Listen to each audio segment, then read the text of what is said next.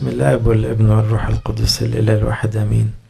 في علاقتنا بالناس بنحتاج لكلمة التوبيخ. التوبيخ الظاهر خير من إيه؟ من الحب المستتر. لازم نحفظها. التوبيخ الظاهر خير من الحب المستتر. الآية دي رايحة راجعة. يعني إيه؟ لما تحب حد ما تستخسرش توبخه في وقت بس هنشوف إزاي. لأن في ناس تميل للإدانة والعنف وال... لا مش ده المقصود. ولما حد يوبخك افتكر الآية دي. لما حد يلومك قول أحسن ما يحبني ويسيبني في غلطي. هو بيحبني بطريقة مفيدة وماله لما اسمع لي كلمة تعدلني أنا المستفيد. فإذا تقبل التوبيخ وتستخدمه بحكمة شديدة بدل ما تكتمه وتسيب اللي قدامك ينضر. توبيخ الظاهر خير من الحب المستتر لأنها أمينة جروح المحب. أقول لكم كم آية عن التوبيخ جت في الأمثال. يقول إيه؟ الوصية مصباح والشريعة نور وتوبيخات الأدب طريق الحياة. يعني إيه؟ يعني توبيخات الأدب اللي هي التأديب يعني. يعني لما أب يمسك ابنه يوبخه يعنفه. الحقيقة ده اللي بيظبط طريقه. وآباء كتيرة دلعوا عيالهم ودفعوا ثمن غالي جدا. لدرجة في آية تقول لا تمنع عصاك عن ابنك. لا تمنع عصاك عن ابنك. يعني لو حشت العصاية بقولة حرام انت ممكن تأذيه أكتر. انت محتاج انك ترفع العصاية في وقت. مش بالحرف طبعا ما تصدقوا فيها أنتوا. لا لا مقصود بيها توبيخات الأدب طريق الحياة. فإحنا بنحتاج حد يوبخنا وبنحتاج أحيانا نوبخ اللي قصادنا بس إيه هنشوف برضو إزاي. آية تاني تقول إيه من يحب التأديب يحب المعرفة. ومن يبغض التوبيخ فهو بليد. اللي يتضايق من كل حد يقول له كلمة ده بليد. ده طالب فاشل. كل لما حد يقول له بس بس يزعل ويقفش مش هيتعلم. إنما ماله لما حد يقول لك يوبخك ولا يعاتبك يقول لك أنا زعلان يقول لك دي غلط. وماله؟ هتتعلم إزاي غير كده؟ من يبغض التوبيخ بليد. آية كمان في أمثال تسعة سبعة تقول إيه؟ من يوبخ مستهزئا يكسب لنفسه هوانا. يعني إيه؟ ما تمسكش واحد لما أخذ سوري في التعبير مش مؤدب. وتقعد توبخه. هيرد عليك. هتكسب لنفسك هوان. ده ولد مش مؤدب. فده ما ينفعش توبخه. مش ده اللي يتوبخ لأن ده ما بيستقبلش. أنت بتوبخ واحد حكيم. عشان كده بنقول التوبيخ ده حكمة. حكمة من الموبخ والموبخ. إنما لا توبخ مستهزئا لئلا تكسب لنفسك هوانا. ومن ينذر شريرا يكسب عيبا. نفس الكلام. هتبقى عيبة في وشك إنك أنت انظرت واحد زي كده. لأنه لا ينظر ما بيستقبلش. آية كمان تقول المستهزئ لا يحب موبخه وإلى الحكماء لا يذهب. تقول له ما تروح تعترف يقول لك أنا محتاج. طب يا حبيبي اسمع كلام أبوك وأبويا بيفهم أكتر مني. طب خلاص إلى الحكماء لا يذهب هيفضل طول عمره جاهل. تعالوا نمشي في شوية شخصيات من الكتاب. بعضهم استفاد من التوبيخ وبعضهم لم يستفيد من التوبيخ. ونشوف قد إيه التوبيخ ده كان ممكن يغير مسار ناس. أول شخصية أنا مشغول بيها طبعا اليومين دول في درس الكتاب عالي الكاهن. عالي الكاهن ده شخصية تخوف لأنه قد ما كان شخص تقي وكويس قد ما عيبه كان في كام عيب كده يبدو صغيرين إنما للأسف خسروه كل حاجة. من أخطر عيوب عالي الكاهن أنه لم يستفيد من التوبيخ. تعالوا نتفرج. جاله توبيخ صريح ومتكرر وما استفادش منه مع إنه هو أساسا خامة طيبة جدا. يقول شاخ عالي جدا وسمع بكل ما عملوا بنوه بجميع إسرائيل وبأنهم كانوا يضاجعون النساء ولادوا وصلوا للزنا. دول كهن مجتمعات في باب خيمة الاجتماع. فقال لهم لماذا تعملون مثل هذه الأمور؟ لأني أسمع بأموركم الخبيثة من جميع هذا الشعب. لا يا بني لأنه ليس حسنا الخبر الذي أسمع. تجعلون شعب الرب يتعدون؟ إذا أخطأ إنسان إلى إنسان يدين الله فإن أخطأ إنسان إلى الرب. من يصلي من أجله يعني ما تتكلوش على صلاتي أنا مش هعرف أشفع فيكم وأنتوا بتعملوا كده. ولم يسمعوا لصوت أبيهم لأن الرب شاء أن يميتهم. خلي بالكم عارفين هو هم ليه ما بيسمعولوش؟ لأن هو كمان ما بيسمعش. هو ما بيعملش كده. لكن هو ما بيسمعش قوي التوبيخ اللي جاله. طبعا التوبيخ ده طري قوي ما يجيبش نتيجة. وهنشوف دلوقتي إن ربنا زعل. يعني هتقول ما هو بخ ما هو الحقيقة لا التوبيخ ده مش كفاية. مش كفاية دي خطية زنا ودول كهنة. عارفين الواحد يقول له ما يصحش يا ابني ما يصحش؟ ما يصحش ده إيه؟ ده يتركنوا ما يخدموش. دي مصيبة دي كارثة. شوف لك كهنة غيرهم. اطردهم بره الهيكل خليك شديد. إنما هنا يعني ما قدرش عليهم. وبعدين قال لهم في حتة تاني لماذا تدوسون ذبيحتي ده ربنا بقى؟ وتقدمتي التي أمرت بها في المسكن وتكرم. شوف بقى التعبير اللي ربنا قال له. ربنا لما قال لعالي قال له مش أنت وبخت ولا ما وبختش؟ قال له أنت بتكرم بنيك علي. ده تقييم ربنا للموقف. أنت بتكرم عيالك علي أنا لكي تسمنوا أنفسكم بأوائل كل تقدمات إسرائيل شعبي. يعني أنت بس سايبهم يعملوا اللي هم عاوزينه ده معناه إنك مديهم كرامة أكتر مني. لو بتكرمني كنت ما تعمل أكتر من كده كتير. شوفوا التوبيخ الظاهر لو مسكهم شدهم شدة جامدة ما كانش انتهى البيت ده النهاية دي. إنما هو شدة ميعة كده إيه وهم ما عبروهوش على فكرة بقى عالي الجاهن كاهن جاله توبيخ من رجل الله ما نعرفش اسمه. وقال له ربنا هياخد هي هيحرمك من الكهنوت. وجاله توبيخ من مين؟ من صمويل الطفل. بالرغم وعاش بعدها سنين. يعني خد فرصة يغير مساره. ما عملش حاجة. فضل الفساد وفضل يتفرج. وانتهت بقى بموت الولاد وموت علي الكاهن. والتابوت اتسحب خالص للفلسطينيين زي ما أنتم عارفين. كل ده لأن التوبيخ ما نفعش. لا هو سمع للتوبيخ الظاهر اللي جاي له من صمويل ولا اللي جاله من رجل الله اللي قبل صمويل ولا هم أولاده فرق معاهم الكلمتين اللي قالوا تعال نشوف واحد تاني ما تأثرش بالتوبيخ. صمويل بقى صمويل لا لا ده حلو جدا. إنما أول يعني من واحد من أوائل ولاده في الاعتراف بكورته كده مسيح الرب اللي اسمه شاول أول ملك على اليهود. ده كان مختار يعني ملك كويس المفروض المهم شاول في الأول ابتدى كويس ووطي راسه لصمويل وصمويل يمسحه ويبارك له ويقول له تعمل كذا وتعمل كذا وتعمل حاضر حاضر حاضر والدنيا ماشية كويس. وبعدين بقى ملك وباشا وقعد بقى إيه نسي بقى حكاية صمويل دي. مكث سبعة أيام. هيدخلوا حرب ففي إجراء كده طقسي لازم يجي الكاهن أو صمويل النبي يرفع ذبيحة عشان ربنا يستر في المعركة. فشاول استعوى صمويل فعمل غلطة كبيرة قوي على فكرة الغلطة بذاتها كانت تهون. الغلطة نفسها كانت ممكن تتصلح زي أي غلطة. ديتها توبة بس توبة بجد. عمل عملة وحشة أوي. ما جاش صمويل لغاية الجلجال والشعب تفرق. فقال شاول قدموا إلي المحرقة وكان لما انتهى من إصعاد المحرقة إذا صمويل مقبل فخرج شاول للقائه فقال صمويل ماذا فعلت؟ يعني شاول قدم المحرقة وصمويل جه بقى بعدها على طول. قال له إيه اللي أنت عملته ده؟ هو أنت كاهن عشان تمسك محرقة؟ المفروض يقول له ده توبيخ شديد. قال له ماذا فعلت؟ يعني اعترف.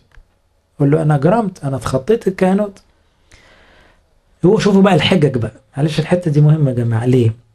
حين توبخ لا تلجأ إلى الحجج والأعذار. هيخليك ما تستفدش. لما بتتحجج وتتعذر كده مش هتستفيد من التوبيخ. لما أنا أقول لحد من ولادي يا ابني غصب عنه طب استحمله. يقول لي ده لا يطاق ده أصله وفصله طب أنت جاي تتوب؟ أنت مش جاي تتوب. أنت جاي تشكي. أنت عمرك ما هتتصلح. لأنك عمال تقول لي بيعمل وبيسوي. فهنا جه قال له إيه شاول؟ قال له أنا قلت إن أنت الشعب هيمشي ويسيبني وأنت ما جيتش في ميعادك. شوف حمل حمل صمويل الغلط. أنت ما جيتش في ميعادك. وقال أنا خفت الشعب يمشي. لا ده شغل ربنا يا ابني. الشعب يمشي ده إيه و وبعدين إيه وإحنا ما لحقناش خفت الحرب تبتدي وما لحقناش نصلي شوفوا اللف والدوران يعني قال إيه مستعجل يصلي يعني. فتجلت تجلت يعني ده أنا جيت على نفسي عشان أعمل كده. يعني أنا ضغطت على نفسي عشان أقدم الذبيحة. فقال صمويل لشاول شوفوا بقى شوفوا بقى صمويل بقى غير عالي. قد حمقت في وشه. مش ما يصحش يا ولاد. لا. قال له دي حماقة. اللي انت عملته ده غلط من مية في المية. قد انحمقت ولم تحفظ وصية الرب. يعني ما تجملش الصورة. ده اسمه كسر وصية. دي اسمها حماقة. ده التوبيخ الظاهر. على فكرة صمويل بيموت فيه. هتشوفوا بعد شوية. صمويل بيموت في شاول. لأنه ده بكره. بكره روحيا. وشاف معاه أيام حلوة في الأول. الآن كان الرب قد ثبت مملكتك والآن لكن مملكتك مش هتدوم بسبب اللي انت عملته. هيدور على واحد قلبه نظيف بقى حسب قلبه. هنا جت بداية داود على فكرة هيشوف راجل حسب قلبه لأن انت قلبك مش نقي.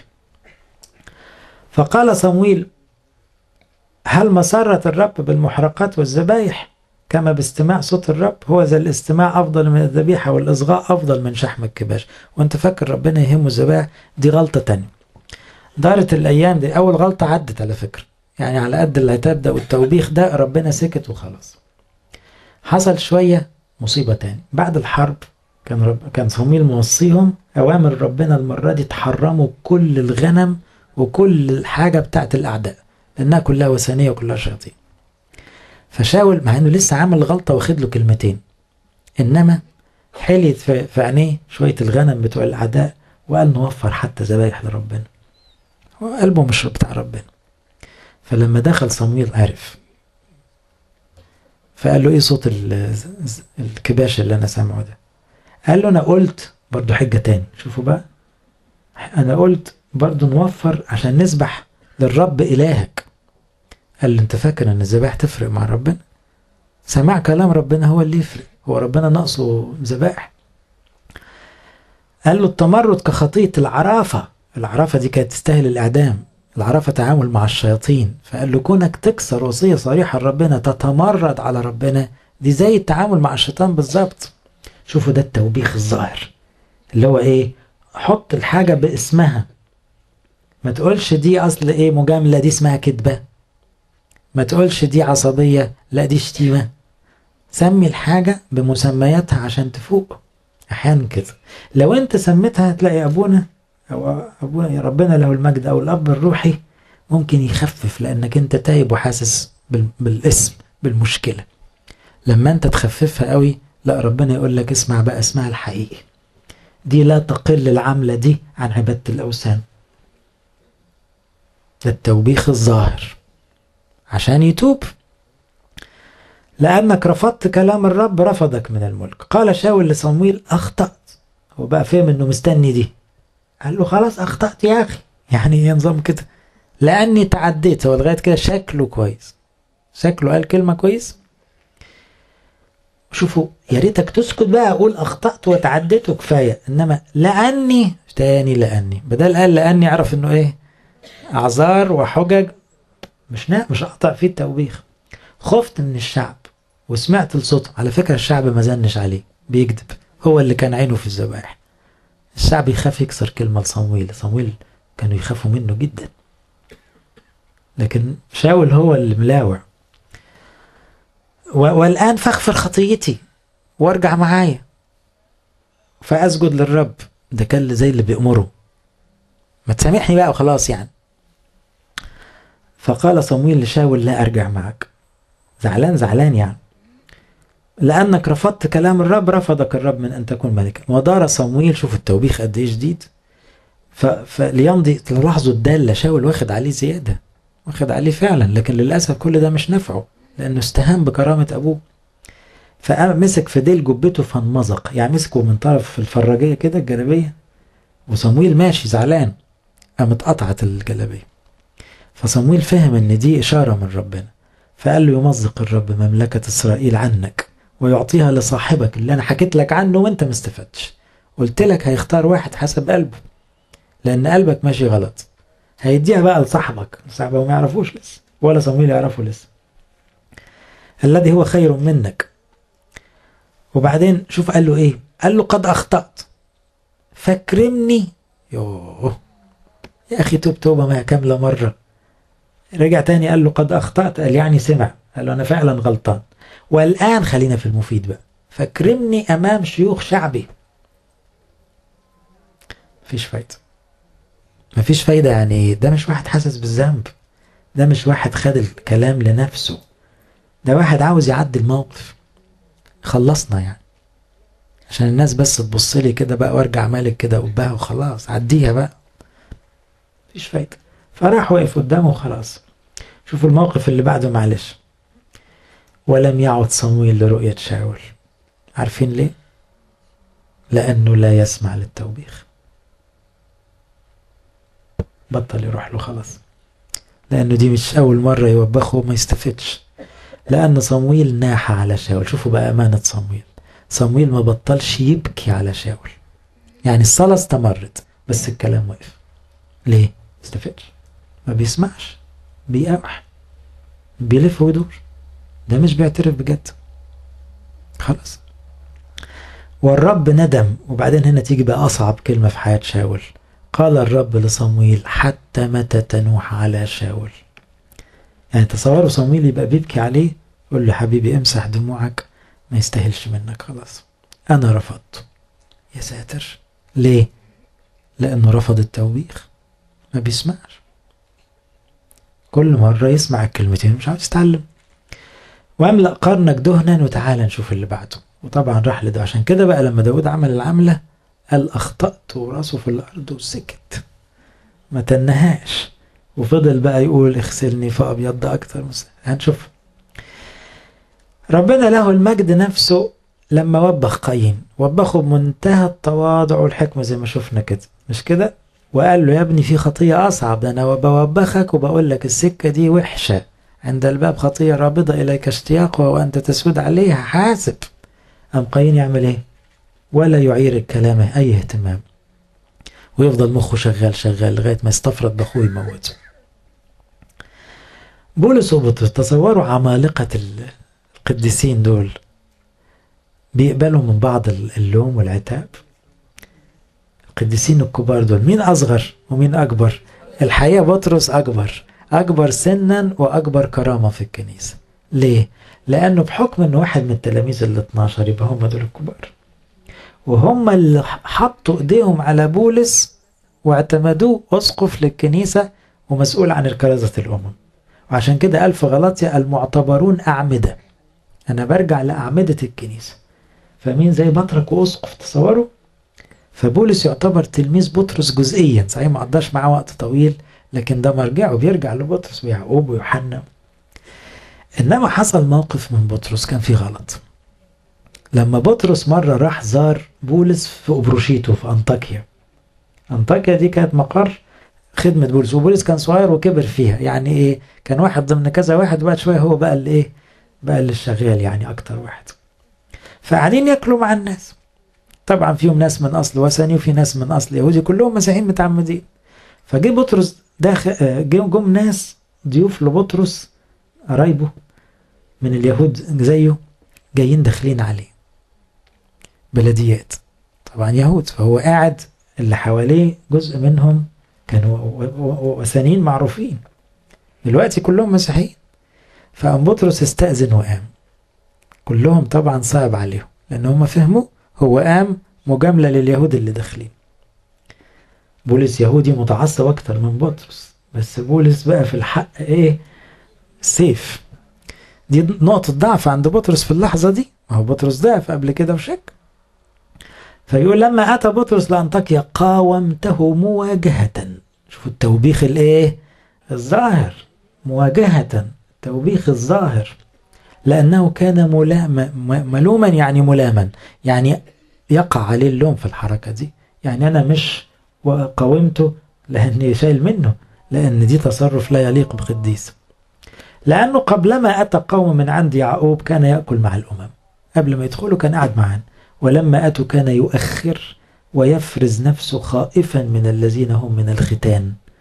عاوز ما يبانش إنه قاعد مع بتوع الأمم. وراء وقع في الرياء. معه باقي اليهود أيضا. اليهود اللي كانوا يهود يعني. حتى إن برنابا ده برنابا ده أستاذ بولس على فكرة. أبوه الروح يعتبر. انقاد إلى ريعهم لكن لما رأيت أنهم لا يسلكون باستقامة أرثوذكس. حتة دي مش أرثوذكس. استقامة يعني أرثوذكس by the حسب حق الإنجيل أو الإنجيل الأرثوذكسي أهو ها؟ اللي هو مش ده اللي استلمناه من الكنيسة مش ده اللي أنتوا علمته لنا مش ده الإيمان, الإيمان المستقيم. لا ما يصحش. ما يصحش التصرف ده.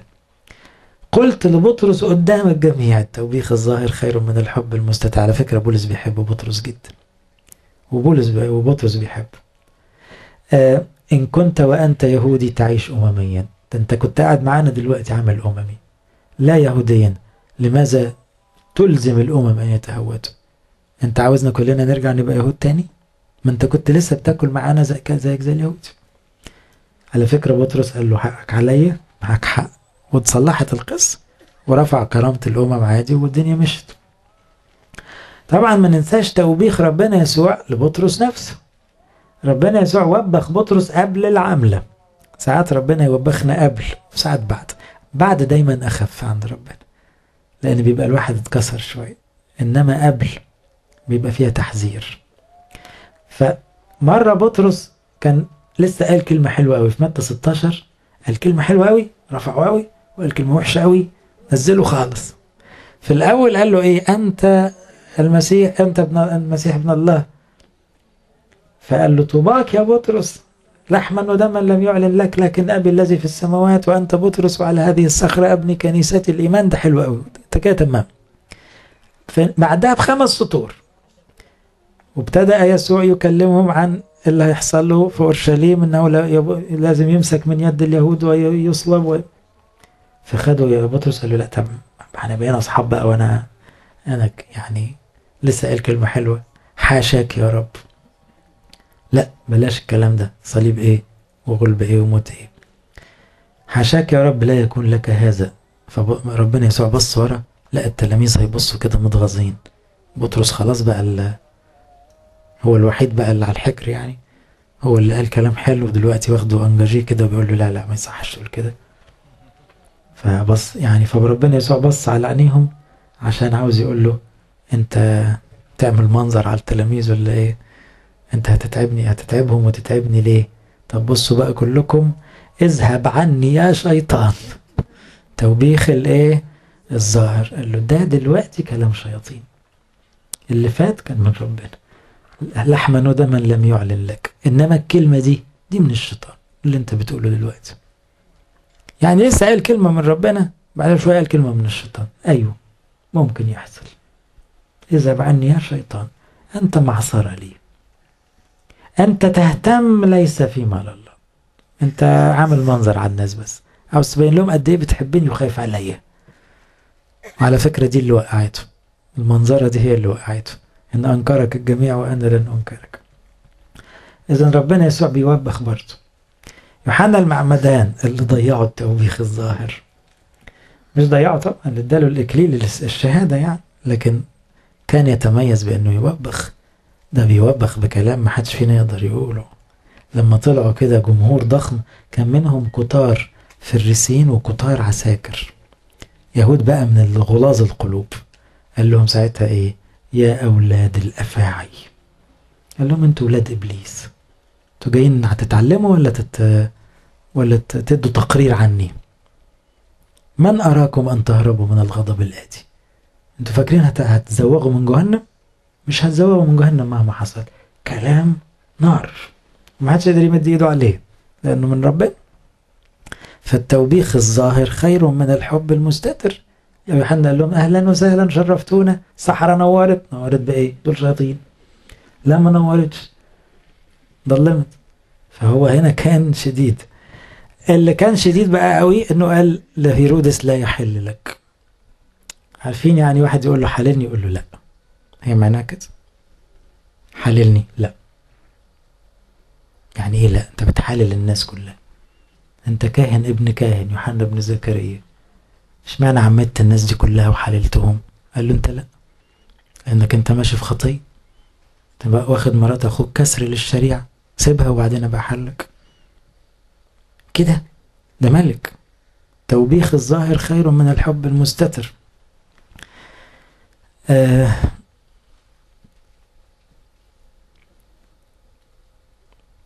مثل كمان إيليا وأخاب. إيليا طبعا ايليا ما توصاش زي يوحنا المعمد بس زمان بقى فيعني عيار اتقل شوية فمرة أخاب حب ياكله في الكلام قال له أنت فين يا مكدر إسرائيل؟ قال له أنا مكدر إسرائيل. ولا أنت وأهل بيتك؟ كده على طول. بيكلم الملك. دي مش شتيمة الراجل مش بيشتم ده بيقول سبب بيوصف. قال له أنت سبب القدر. طبعا. أنا؟ أنا راجل عايش بصلي في الجبل. وأنا سبب إن المطر ما بينزلش. دي أوامر ربنا. إنما أنت سبب الجوع والعطش اللي الناس فيه ده الذل ده كله بسبب خطيتك. فأنت مكدر إسرائيل طبعا. ما تقلبش الموازين. ما تاخدنيش في كده كلمتين. لا. لا أنا ما بخافش. أنت اللي غلط وأنت سبب المأساة مش إحنا. كده على طول. سمع من ده كتير أخابه وما كانش بيتأثر. فمرة بقى مسكوا إيليا واداله كلمتين نار. توبيخ الظاهر. ولم يكن كأخاب الذي باع نفسه وعمل الشيطان. العمل الشر في عيني الرب الذي أغوته إيزابل امرأته الحتة دي كانت بعد ما عمل إيه؟ مع خد حقل نابوت اليزرعيلي. إيزابل الشيطانة دي تآمرت وموته نابوت وخد الحقل بتاعه. وقالت له انزل استلم الحقل بتاعك. وهو في الحقل بيستلم جاله إلي قال له هل قتلت وورثت؟ قالها له كده. قال له أنا قتلت؟ قال له أنت هتكمل الصورة؟ طبعا قتلت. بإيد مراتك بس أنت قتلت. وبتورث في القتيل. فقال له كلام نار توبيخ ظاهر. لما سمع أخاب هذا الكلام شق ثيابه ترعب من الكلام. الموقف الوحيد اللي عدل في حياة أخاب. وجعل مسوحا على جسده كعادة التائبين زمان صام واضطجع بالمسوح ومشى بالسكوت. اتهد بقى. ترعب من من عينين ايليا وكلامه فكان كلام الرب إلى ايليا التشبي هل رأيت كيف اتضع أخاب أمامي؟ المره الوحيدة اللي تهز فيه. ربنا حسبها له. من أجل أنه اتضع أمامي لا اجلب الشر في ايامه بل في أيام ابنه لأن ابنه أوحش منه مش لأن ابنه هيتظلم يعني. عشان كده الكتاب قال الحديد بالحديد إيه؟ يحدد. يعني ربنا حاططنا لبعض. إحنا لبعض يا جماعة الناس لبعضيها الكلام ده مظبوط بس روحيا. يعني لما تلاقيني غلطان تعالى وبخني. ولما ألاقيك غلطان عشان بحبك أوبخك. لا تزعل مني ولا ازعل منك. لأن إحنا خايفين على أبديتنا مش خايفين على كرامتنا. اللي خايف على كرامته لا هيقبل ولا هيتكلم. اللي خايف على أبديته هيقبل وهيتكلم. فحسقيال بقى كلمة تاني تؤكد الفكرة. البار وإن رجع عن بره وعمل إثما وجعلت معصرة أمامه فإنه يموت لأنك لم تنذره. يعني واحد بيتكعبل وماشي في الغلط وإنت شايفه ونهايته الهلاك. مات. يموت في خطيته. ما نقدرش نغير القاعدة. هو غلط وعايش غلطان لآخر عمره. خلاص مات في خطيته. ولا يذكر بره الذي عمله لأنه كان في الأول كويس مش مهم كان في الأول كويس. ولا بيطلع عشورة تقولش الكلام ده. بدل مكمل في خطيته نهايته وحشة. أما دمه فمن يدك أطلبه. ليه؟ لأنك لم توبخه. لأنك كنت شايفها صريحة كده وما قلتلوش كلمة تفوقه. لكن لو وبخته دمه على رأسه خلاص. لو ما سمعش الكلام يبقى دمه على رأسه. ناسان وداود أرسل الرب ناسان إلى داود. ده بعد العملة بقى الكبيرة بتاعت داود. بس شبع بقى و... و... وريا الحسي والقصة الصعبة بتاعت داود. داود على فكرة ضميره اتخدر وقعد سنة تقريبا لا بيتوب ولا بيصلي مزامير ولا بيدخل هيكل ولا بيدور على أب اعترافه. كان ساعتها صمويل مات. كان نسان هو النبي. فنسان راح له. هو اللي راح له. زي واحد يبعد عن الاعتراف سنة أب اعترافه يعني لو عارف يشوفه أو يسأل عليه يقول له أنت فين؟ إنما ربنا كشف لنسان العمل. فحكى له حكاية عشان يفهمه يعني كيف يحكم على نفسه. قال له حكاية الراجل اللي كان عنده عنزة والتانية وبعدين جاله ضيوف الغلبان خد المعزة بتاعت الغلبان عشان يذبحها للضيوف. فعفى أن يأخذ من غنمه ليهيئ للضيف الذي جاء إليه فأخذ نعجة الرجل الفقير وهيأ للرجل فحمى غضب داود على الرجل جدا. خلي بالكم الجملة دي مفروض بيبقى بالظبط قدها تشيل الراجل وتحط إيه؟ داود شاطرين هو ربنا عاوز كده؟ ده اللي كان بيقوله ذهبي الفم عن الغضب المقدس. حمى غضب داود على ها؟ داود أو على نفسه جدا. هي دي التوبة. التوبة إنك تتغاظ من نفسك جدا. زي عملت كده. دي اللي خلت بطرس يبكي بكاء مر لأنه غضب على نفسه جدا مش غضب على حد. وقال ناسان يقتل الرجل. فقال له أنت هو الرجل. أنت هو الرجل. وابتدى بقى إيه شوف التوبيخ كلام زي النار برضه. قال له أنا اديتك كل حاجة يا داود ربنا بيقول كده. أنا جايبك من ورا الغنم وعملتك ملك وسبتك تتجوز أكتر من واحدة. لأن كانت الحتة دي متواربة شوية في الشريعة. قال له أنا سبتك تتجوز. ولو كنت عاوز أكتر ما كنتش هحوش منك. تاخد مرات صاحبك. إيه اللي أنت عملته ده؟ توبيخ عنيف جدا. من نسان لمين؟ لملك الملوك ساعتها. داود أعظم ملك في زمنه في وقتها. قاعد على أعظم كرسي. حد شيء يعني بيترد وجهه ملوك الأرض. كل ملك عاوز يصاحب داود من مركزه. إنما هنا نسان ملوش دعوة بالحاجات دي. كلام زي النار. وبعدين إيه؟ طبعا ساعتها داود قال له أخطأت. قال له ربنا نقل عنك لكن هيحصل وهيحصل. ودخل داود بقى على طول. بدأ يصلي ولم يكف عن الصلاة بدموع لآخر حياته. أدي التوبة بقى. أدي الشغل المظبوط. أدي التوبيخ الظاهر. شوفوا قد إيه مفيد. وعلى فكرة نسان ما بعدش عنه ابدا. نسان ظل أبوه. الروحي وظل بيسمع له أكتر من الأول. مش زعل من اب اعترافه مفيش حركات من دي. لا لا ده الكلمتين الناشفين دول كانوا أغلى كلام سمعوا من أبوه. في مرحلة تاني بعدها مثلا بعشرين سنة ولا حاجة كان في أزمة حصلت بين ولاد داود إن أبشالوم قتل أمنون. فأبشالوم طبعا هربان وداود غضبان على ابنه اللي قتل ابنه التاني. بقت خراب في بيته. فالموضوع مزعج. يؤاب عاوز يعمل خير وقال خلاص كفاية عيل مات التاني هيفضل بعيد عن أبوه كذا سنة. فقال نصالحه فجاب واحدة من تقوى الظاهر كانوا ستات حكمة شوية مشهورين يعني. قال لها وعاها قال لها بصي هتحكي حكاية. تدخلي للملك داود الراجل كبر وقلبه طيب. ما تجيبيش سيرة ولاده خالص. هتقولي له بص ولادي الاتنين هم ولدين. اتخانقوا في الحقل واحد مسك التاني موته. دلوقتي أهل البلد بيقولوا اللي موت أخوه لازم يموت. يعني أنا خسرت الأولاني وهيخسروني التاني وأنا أرملة. طب أعمل إيه دلوقتي؟ شوف لك حل.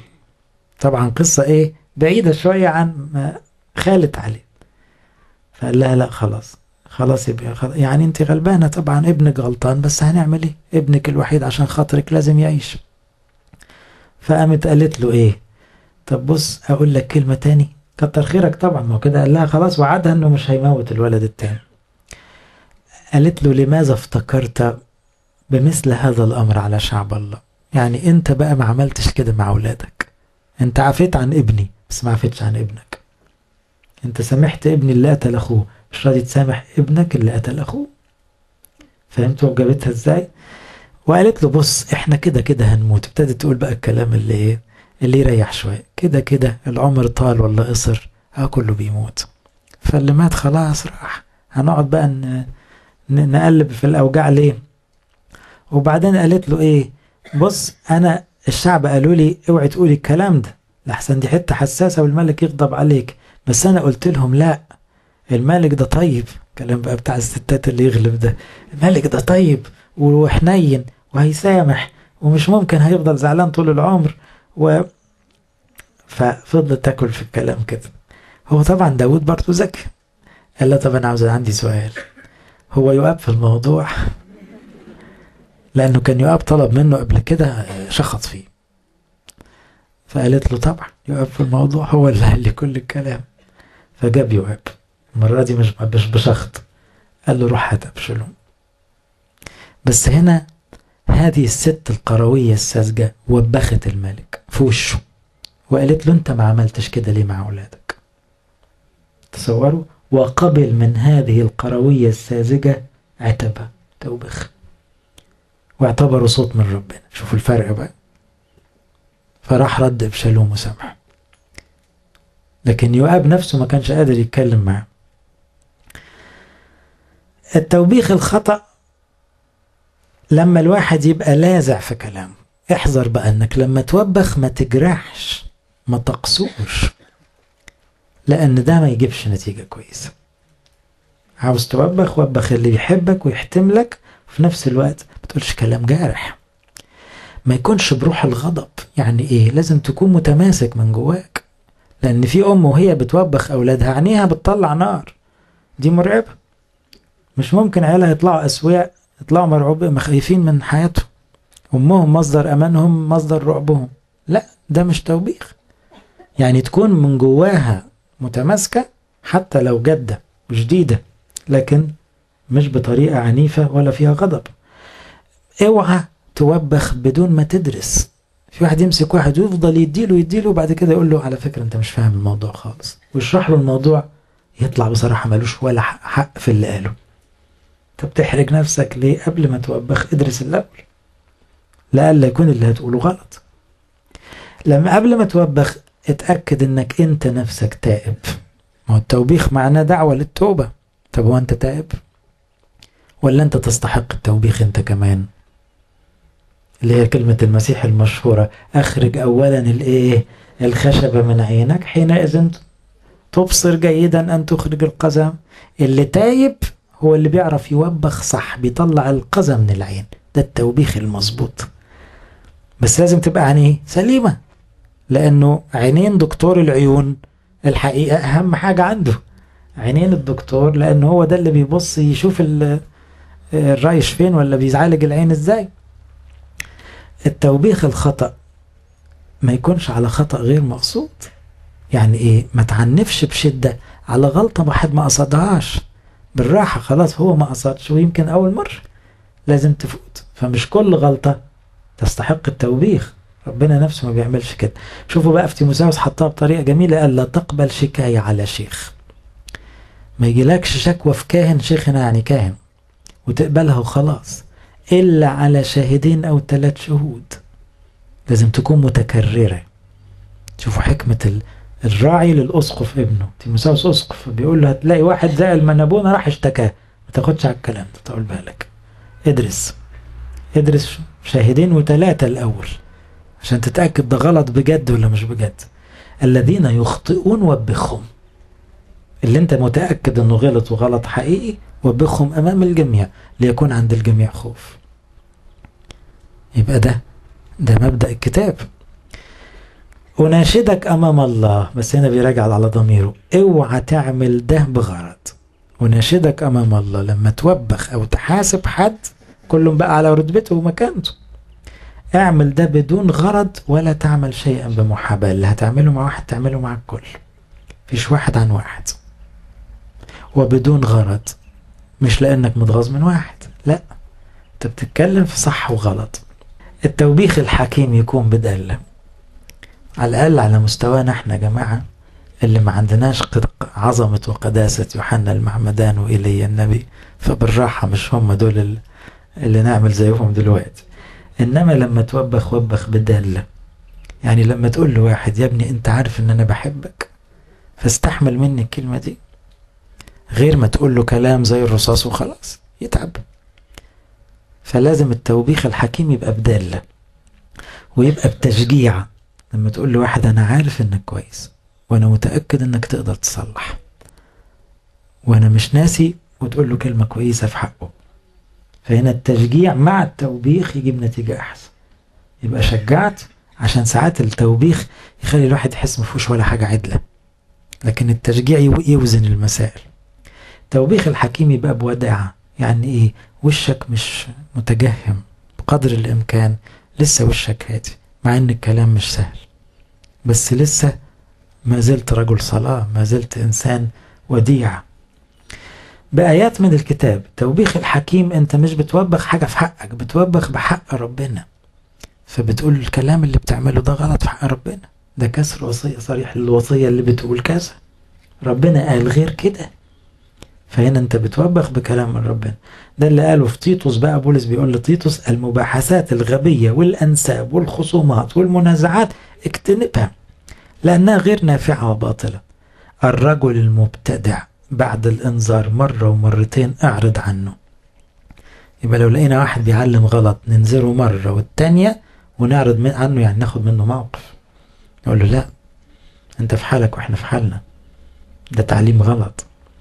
عالما أن مثل هذا قد انحرف وهو يخطئ محكوما عليه من نفسه عشان. عشان. يعني يلطف قلب تيتوس كأب قال له هو اللي حكم على نفسه مش أنت هو اللي مصر على التعليم الغلط يبقى هو اللي حكم على نفسه فهمتوا الفكرة عشان ما يبقاش الراعي فينا ما هو الواحد برضه زي أي أب لما بيشد بيبقى قلبه واجعه لما بيقدم بيبقى هو صعبان عليه قال له بس المتمادي في الخطأ هو اللي جاب العقاب لنفسه. فما تلومش نفسك في أي حاجة لإلهنا كل مجد وكرامة الأبد